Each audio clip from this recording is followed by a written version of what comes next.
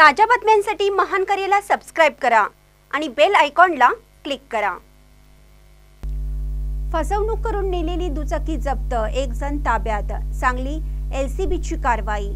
कवटे माकळ येथील आरेवाडी येथे जाऊन येतो असं सांगून दहा महिन्यापूर्वी एकाची फसवणूक करून नेलेली दुचाकी जप्त करण्यात आली. या प्रकरणी एकाला अटक करण्यात आल्याची माहिती एलसीबीचे पोलीस निरीक्षक सतीश शिंदे यांनी दिली आहे. शिवाजी जगन्नाथ मासाळ वय वर्ष चाळीस राहणार सलकरी रोड मिरज असे अटक केलेल्याचं नाव आहे. पोलीस अधीक्षक ॲडव्होकेट बसवराज तेली यांनी चोरीच्या फसवणुकीच्या गुन्ह्यातील संशयितांना अटक करण्याचे आदेश दिले आहेत. त्यानुसार निरीक्षक श्री शिंदे यांनी खास पथक तयार केलं होतं. पथकाला मिरज कोल्हापूर रस्त्यावरील एका गॅरेजमध्ये एक जण दुचाकी विक्री करण्यासाठी येणार असल्याची माहिती खबऱ्यांद्वारे मिळाली.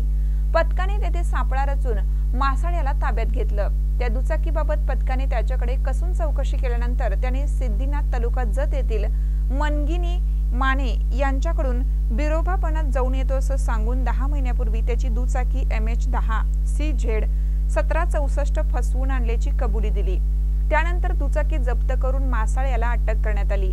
त्याला कवटेमहांकाळ पोलिसांच्या ताब्यात देण्यात आले.